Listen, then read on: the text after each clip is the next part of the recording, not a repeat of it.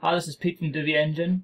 Uh, just going to be doing a video on uh, like creating a two kind of menus on your desktop with Divi Mobile.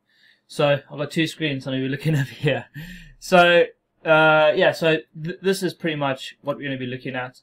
Uh, is creating a so you have one you know desktop menu like this, and you can have whatever you want in there, and then have a secondary menu that pops out. And when you scroll down to mobile, it will just become your normal mobile menu using Divi Mobile. So it'd be like a, just a, this desktop menu menu would be removed.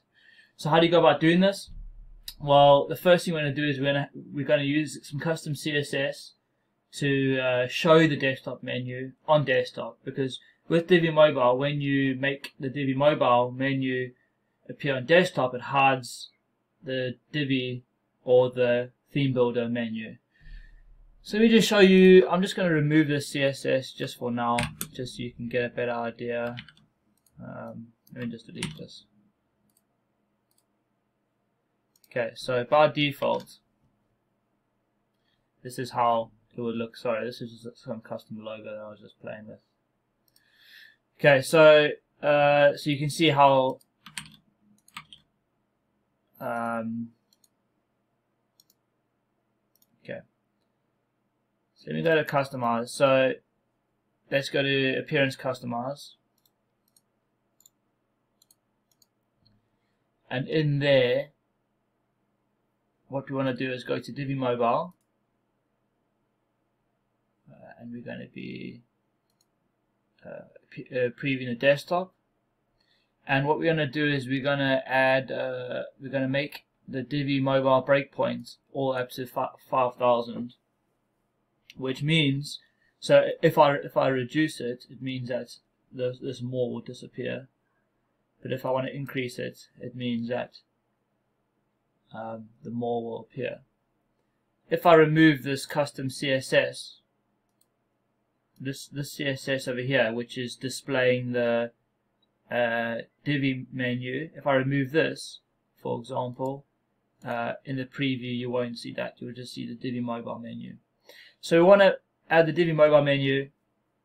Uh, what I've done over here is I've then in the burger menu I've just you know done a normal one. I've done the burger menu colors black. I've added this text more which appears over there. So into the desired text you are next to the burger menu. Position it from the top so I've just positioned it nicely next to it over there. Um, and I made it black. I've set the background menu background color of the burger menu so you can see over here if I just bring it up. I've set this to transparent.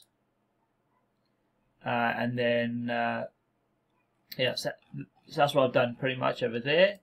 And then in the menu appearance I've set my background color.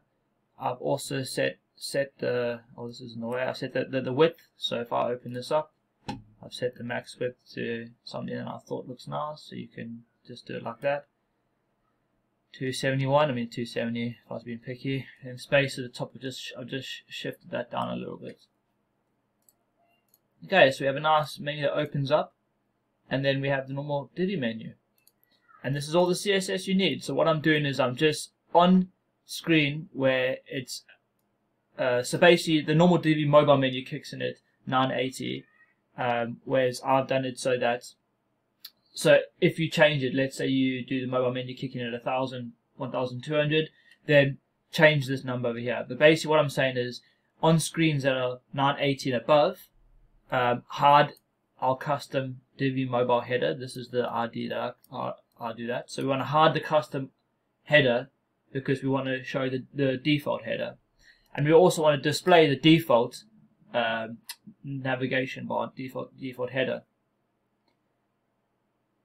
but we're not going to remove the Divi Mobile menu. So the Divi Mobile menu, CSS and HTML is still there. Okay, so that's it. So this is this is all the CSS you need. Uh, I just wanted to kind of explain it to you, and uh, yeah, and that's how you can create a secondary, so pretty much two menus on uh, yeah on, on, on your desktop sites. Hope this has been helpful, and uh, yeah, any any questions, give us a shout. But we hope you have a great day and be safe.